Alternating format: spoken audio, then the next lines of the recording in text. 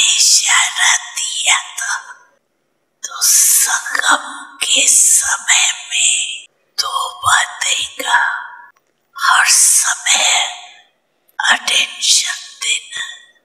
वो दो बातें तो याद होगी।